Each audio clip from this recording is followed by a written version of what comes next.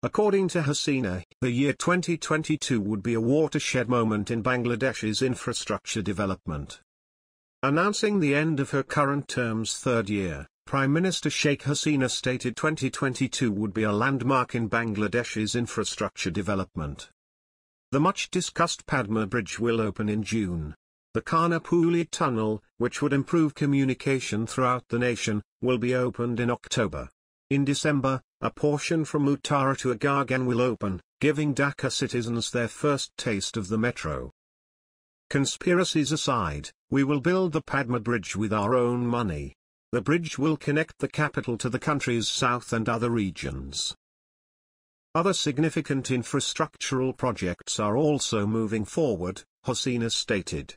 The 1,200 megawatts Rooppur nuclear power plant, Bangladesh's most costly infrastructure project at TK 1.13 trillion, is set to start up in April next year, Hasina said.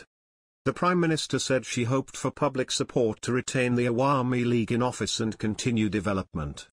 In the last 13 years, Bangladesh has made significant progress in several economic metrics, including poverty reduction, health system improvement, decrease of maternal and child mortality, increased life expectancy, women's empowerment, and literacy. We aim to keep building a developed, affluent Bangladesh by 2041, she stated.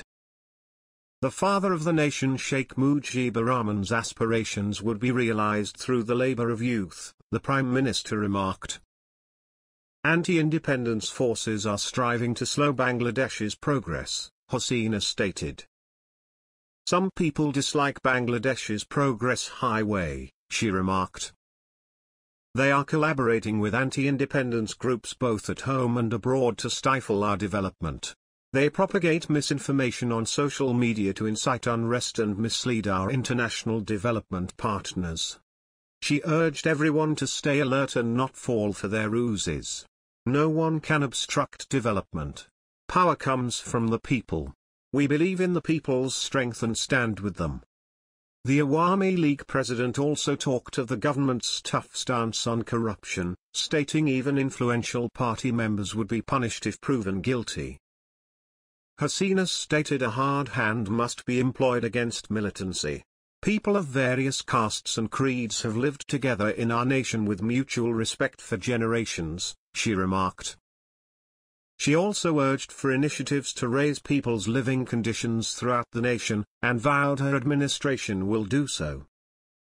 You may judge our work over the last 13 years, but I believe the government has delivered on its promises.